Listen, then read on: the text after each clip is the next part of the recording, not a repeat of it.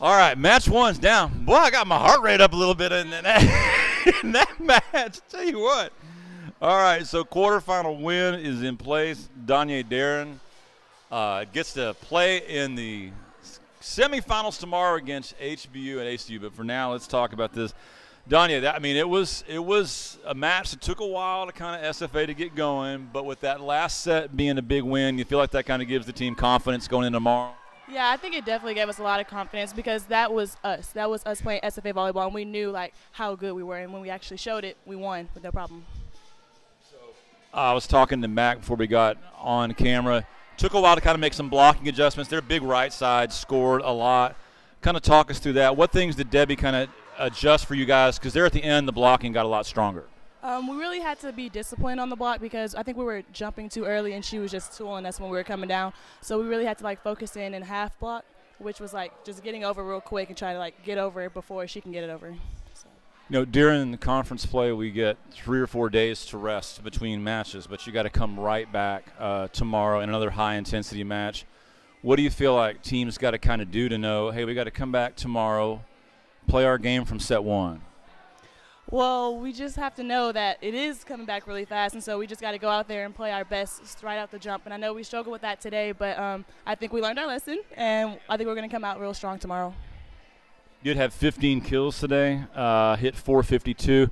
Which particular shots did you think were open today for you? I mean, you got a lot of good looks in there, but which particular which particular play sets did you feel like were the ones that were working the best?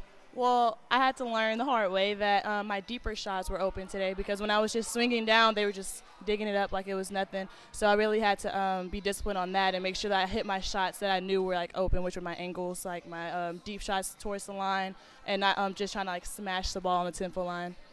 There were, especially early in the match, there were a lot of long rallies too, where you had to transition over and over and over again. Did you feel like as the match went on, you were able to shorten a few things up so that you weren't moving back and forth so much in transition? Well, yeah, I felt like I had to um, really just focus in a little bit more and um, be smart with what I was doing because I didn't want to just like do too much and then end up being an error or something. So, yeah. All of us have talked all year long with your first team nod for All Southland Conference and Hollas Setter of the Year and put up a triple double again today. It it just seems like every match that we play, Ann seems to be able to do something special.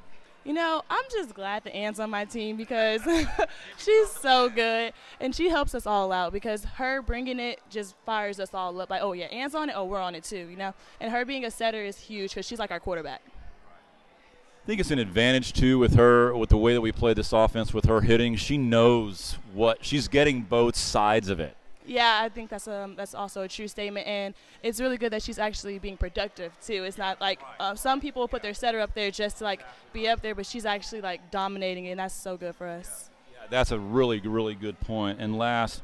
You know, you're going to scout a little bit against ACU. Played ACU last year in the tournament. We remember that. Got wins against ACU and HBU this year. Are there any things that you sort of think about either of those two teams that you remember from when you played them before? Um, I remember ACU definitely had a big block. And I know that we're going to have to come out not trying to just swing straight down into them because we have to respect them because they will block us. Just like we will block them, they will block us. So. All right, HBU with two big middles too. So we'll see who wins this next match. ACU, HBU.